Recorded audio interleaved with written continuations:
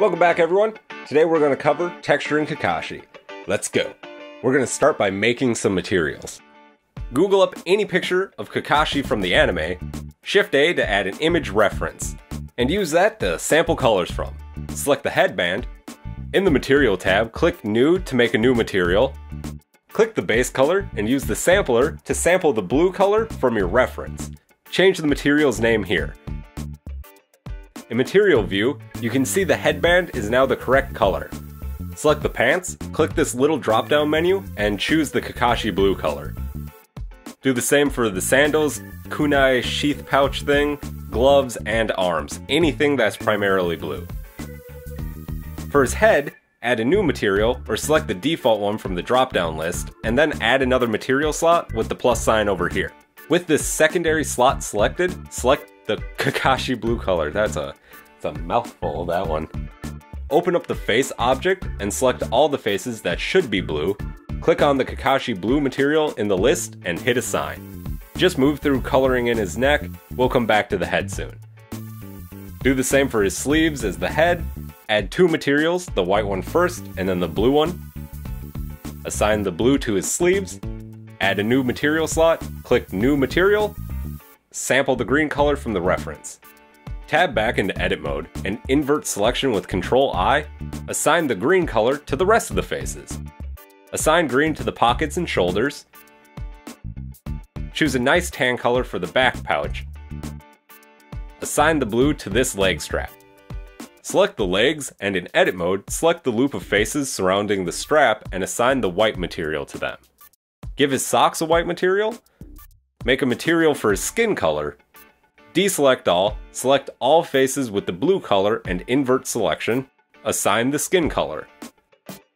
Assign this skin color to the ear, disable the visibility of his shoulder pads, and make sure the entirety of the back of his head is blue. Also color the headband tie blue. Make a metallic material for his headband plate. Color it slightly gray, set the metallic slider to 1 and adjust the roughness. Assign the metal color to the hand plates too. Assign the skin tone to his arms and his fingers.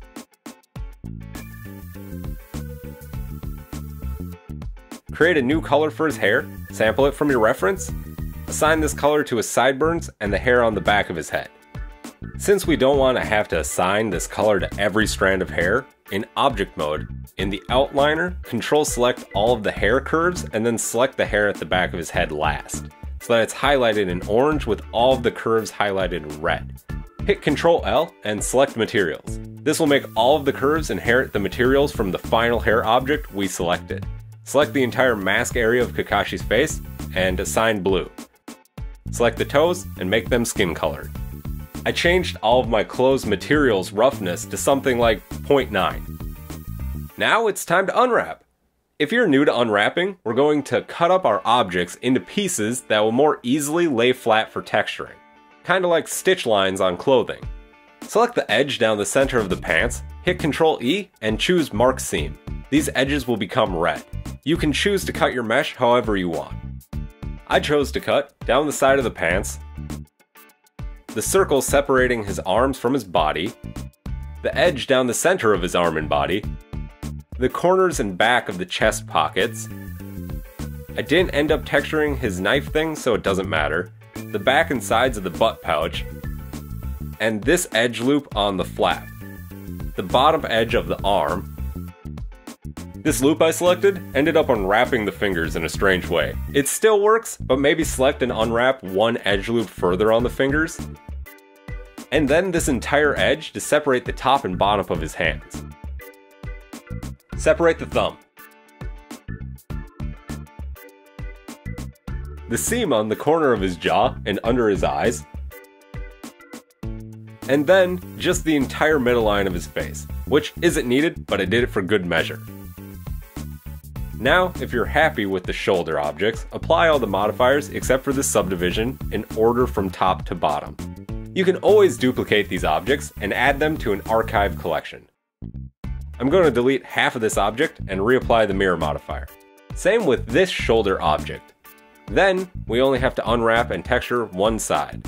Go through all the objects and apply the scales on anything that doesn't say 111 under the scale over here, with the exception of the hair curves. Select this edge loop, mark as seam. Same with this one. Also select the inner edges and mark as seams. Might help to go into wireframe mode or disable the visibility of anything obstructing your view entirely. Select all and hit U to unwrap to see a preview.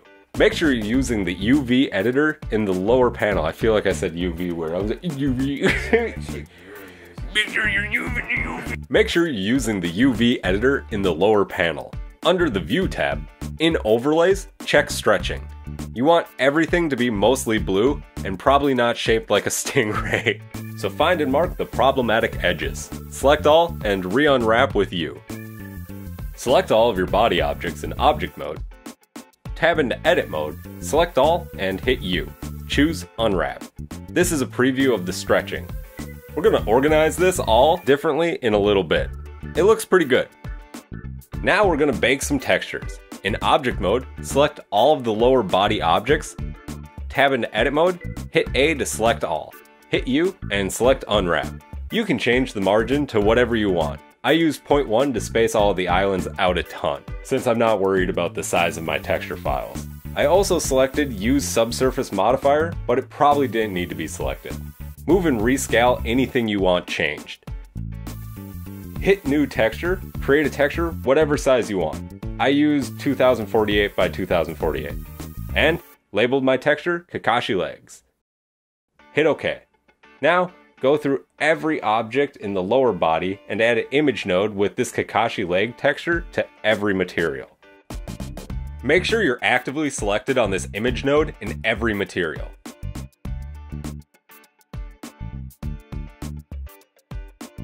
Once you're certain that you have it on every material, click the Render Properties tab, scroll down and expand the Bake menu. Under Bake Type, choose Diffuse, and under Influence, only select Color. Open up the UV editor and reselect all the lower body objects. Check Clear Image, then hit Bake, and wait a while as Blender bakes your textures. In Object Mode, you can watch as the colors get painted onto your texture. Don't forget to save this image. Go back into the shader editor once the baking is finished. You can now remove all materials from the lower body objects. Create a new material called something like Kakashi legs. Add an image texture to this material. Use the Kakashi legs texture as the base color. And adjust the shader roughness to however you like it. For the pack, I'm going to still use my metallic materials for the button, so I added it back. Add the Kakashi leg material to every object in the lower body. Now we do it again for the chest. Select all the upper body objects besides his neck and up. Create a new texture called Kakashi chest or something. Unwrap with the same settings as before. Go into every object and add the Kakashi chest image to every material. Once you've gotten them all, go into UV editor, change the image to the chest image and hit bake again. Watch and ah as the texture fills in. Once it's done, strip all the materials from the upper body and create a new material called Kakashi chest or whatever. Add the corresponding image to the material. Apply it to all these objects. I forgot to unwrap, I said objects, weird. I forgot to unwrap several objects on his head. The only one I ended up texturing is this headband plate. Select his head objects and unwrap them. Don't worry about the hair, you can texture that if you want to, but I didn't create a third texture. Do the texture thing on all the materials, select all the objects, and bake. Remember to always save all of your textures. Strip the materials off the head objects except for the headband plate, then make the new Kakashi head material and use the texture. Apply it to all the head objects. If you care, you can switch to the blend file in the outliner and delete any materials you no longer want. Be careful not to delete anything you want though. Now we're ready to paint. Since my head object has a ton of holes in it, Blender doesn't know which side I want outside. And because I've tried this before recording, I know I need to recalculate the normals inside. Switch to texture paint, and pull up a reference over here to use as a palette. Change the bottom tab to the image editor, and switch to paint mode. Select the tool tab, and sample the blue and skin color from the image texture. Now start painting in a new mask line on his face using your reference. This is when you'll know if you need to hit Ctrl N and recalculate your normals inside or outside. If the paint isn't showing up on your texture, try flipping your normals. I sample colors straight off the reference. Don't sample off the objects in solid view because there's shading from the default lighting. Remember to save your textures frequently as you're adding detail. Always save! Add the Kakashi face texture to the headband metal material. Color the headband islands a light gray, maybe blue-gray. Use the reference to get the rough positioning of stuff, and then manually adjust anything you want. This whole process is really up to you, however you want to do it. It takes a while, and don't forget to save frequently.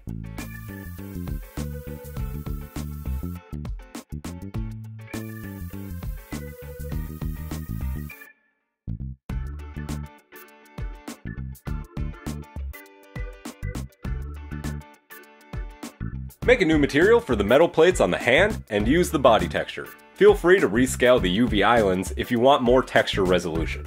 Depending on what you want to use your model for, you might decide to increase the texture resolution entirely. Remember, if an object won't let you paint on it, you usually need to flip your normals. I unwrapped these fingers pretty poorly, but it still works.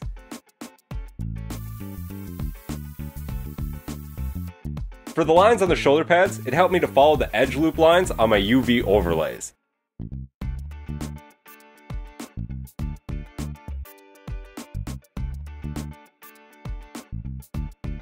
If you want to make straight lines while texturing, change your stroke method from space to line. Sometimes it's easier to paint directly on the model, sometimes on the texture. Just stay flexible on which one you use. I want my model to resemble a hand-drawn character, so I border a lot of things with black.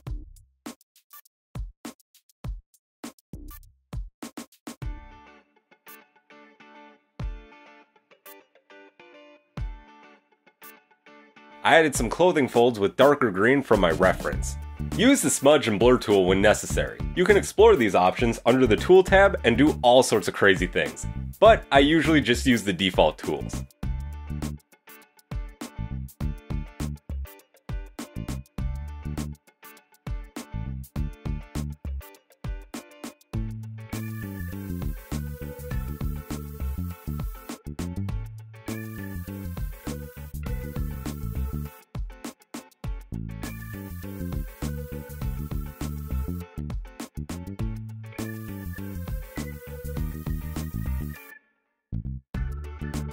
For the leg wraps, I used the line tool and then kind of blended them together.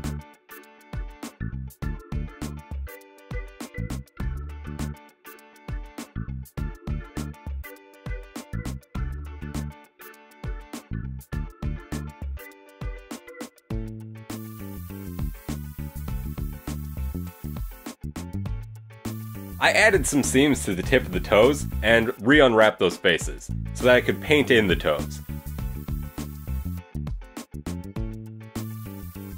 Then I thought it was probably silly that his toenails are higher resolution than his fingernails, so I re-unwrapped those as well. Found an empty spot for them in the texture, and repainted them. Once that's done, I started painting some detail onto the arm.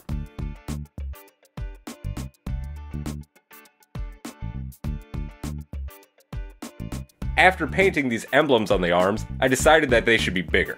So I opened up my texture in Photoshop and resized them a bit. I started creating the emblem on the back, but it's not going to work with how the back is currently unwrapped. Before we apply this mirror modifier, we need to add elbow joints. I added this elbow later right before rigging and it was a bit more difficult. Put in three edge loops about where his elbow should be. Then select the front four edges on the middle loop. Hit X and choose Dissolve Edge Loops. Change in the modifier tab, apply the mirror modifier to the body object. Go into edit mode and select these four faces, hit U to unwrap again. In the UV editor, make sure sync selection is on, scale the UV islands down and place them in an open spot. Sample the green color off the texture and paint it in. Now you'll be able to make a non-mirrored design. I decided to add a circle object to my scene so that I could use it as a guide. These aren't the easiest shapes to make, so don't be afraid to make a mess. Just keep going back over it until it looks alright. If you're going for the hand-drawn look, it definitely doesn't have to be perfect, but mine is. add some stitching to the pack. I decided to resize its UV islands because it has, you're never gonna see it, I want it to be perfect. Once that's done, make his arms skin colored. Then add some shading to make his shirt look wrinkled. I blurred these a bit with the blur tool.